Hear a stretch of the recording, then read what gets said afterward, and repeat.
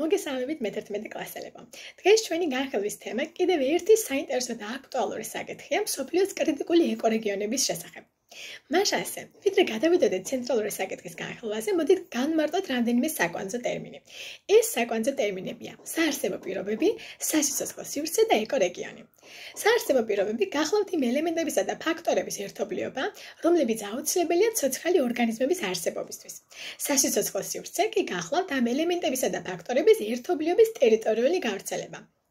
სხვაგვარად რომ ვთქვა, სასიცოცხლო სივრცე არის საარსებო პირობების ტერიტორიული გავრცელება.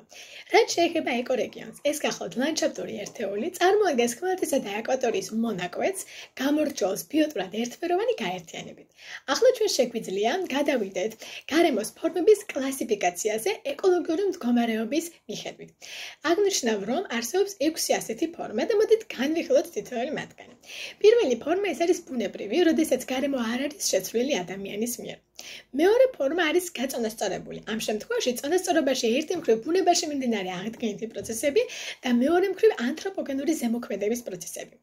შემდეგ გვაქვს კრიზისული ვითარება, როდესაც წონასწორობა, რომელზეც ზემოთ ვისაუბრეთ, ირღვევა სამწუხაროდ ანთროპოგენური ზემოქმედების სასარგებლოდ. მას მოსდევს კრიტიკული ვითარება, როდესაც არსებული ეკოსისტემა გარდაიქმნება უფრო ნაკლებ პროდუქტიულ ეკოსისტემად. აღნიშნულს მოსდევს კიდევ უფრო მძიმე ვითარება და ეს გახლავთ კატასტროფული ფორმა, როდესაც უკვე ნაკლებ პროდუქტიული ეკოლოგიური სისტემის შენარჩუნების საკითხიც კი კითხვის ნიშნის ქვეშ დგას. და ბოლოს ეს გახლავთ უკვე კოლაფსის მდგომარეობა. კოლაფსის მდგომარეობის დროს ეკოლოგიური სისტემის ბიოლოგიური პროდუქტიულობა დანაკარგს განიცდის.